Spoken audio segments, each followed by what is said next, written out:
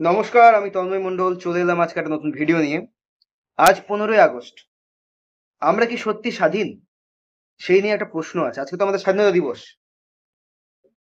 যেহেতু এই চ্যানেলটা ফিল্ম ওরিয়েন্টেড চ্যানেল আর্টিস্টের চ্যানেল আর্টিস্টদের চ্যানেল প্রোডাকশন চ্যানেল তো সেই হিসাবে আমরা শিল্পীরা কি সত্যি স্বাধীন?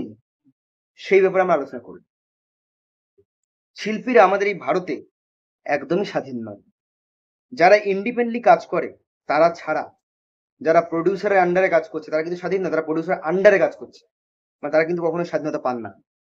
বুকে হাত দিয়ে একবার বলুন তো, যারা যারা প্রডিউসার আন্ডারে কাজ করছেন কাজ করছেন ভালো কথা, সেটা নিয়ে কোনো আপত্তি নেই, কিন্তু তারা কিন্তু স্বাধীন নন। তারা স্বাধীনভাবে ক্রিয়েশন করতে পারে না। একমাত্র ইন্ডিপেন্ডেন্ট যারা ক্রিয়েটার ইন্ডিপেন্ডেন্ট যারা ফিল্ম মেকার তারাই একমাত্র স্বাধীনভাবে কাজ করতে পারেন। আচ্ছা কিছুদিন আগে একটা ঘটনা ঘটলো, যে ডাইরেক্টরকে ব্যান্ড করা হলো। নাম করছি না।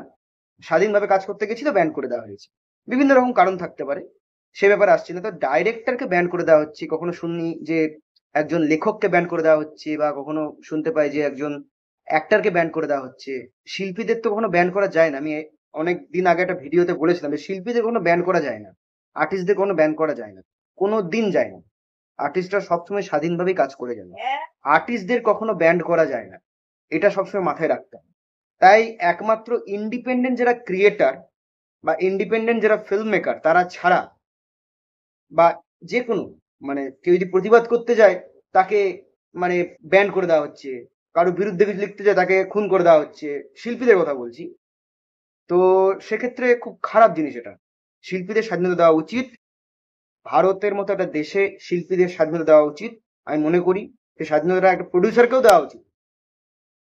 নাহলে কখনোই ভালো ক্রিয়েশন আসবে না, ভালো ক্রিয়েশন হবে না, ভালো কিছু সৃষ্টি হবে না। তো আমি এটুকুই বলব যে ইন্ডিপেন্ডেন্ট যারা ফিল্ম মেকার ইন্ডিপেন্ডেন্ট যারা ক্রিয়েটার তারা ছাড়া বাকি সবাই বাকি সবাই কিন্তু পরাধীন। তাই আজ পনেরোই আগস্ট এটুকুই বলব যে আমরা কিন্তু এখনও স্বাধীন হইনি, স্বাধীন শিল্পী হইনি। যদিও আমি ব্যক্তিগতভাবে ইন্ডিপেন্ডেন্ট কাজ করতে পছন্দ করি এবং প্রথম থেকেই অনেক প্রডিউসারকে অ্যাপ্রোচ করেছিলাম প্রথম দিকে বাট তারা তো শোনেনি। আমি কাউকে তেল মারিনি আমি নিজে কাজ করতে লেগেছি এবং ইন্ডিপেন্ডেন্টলি কাজ করে এসেছি এবং যতটুকু করেছি, নিজের দমে করেছি ভগবান আশীর্বাদে এবং আপনার সাপোর্টে করেছি ইন্ডিপেন্ডেন্ট কাজ করাটা মজাই আলাদা এবং আমি মনে করি স্বাধীন হওয়াটা একটা স্বর্গসুখ। পরাধীন একটা পাপ। পরাধীনতা একটা পাপ, স্বাধীনতা একটা হচ্ছে স্বর্গ সুখের মতো ব্যাপার। তো আমি ইন্ডিপেন্ডেন্টলি কাজ করি ইন্ডিপেন্ডেন্ট ফিল্ম মেকার হিসেবে ইন্ডাস্ট্রিতে কাজ করছি এবং কাজ করে যাব ইন্ডিপেন্ডেন্ট ক্রিয়েটার হিসেবে কাজ করি। আমি খুব খুশি, আমি খুব হ্যাপি আমি এটুকুই বলব যে শিল্পীদের ব্যান্ড করা যায় না এবং শিল্পীরা স্বাধীন।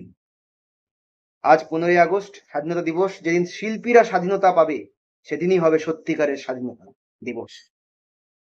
Thank you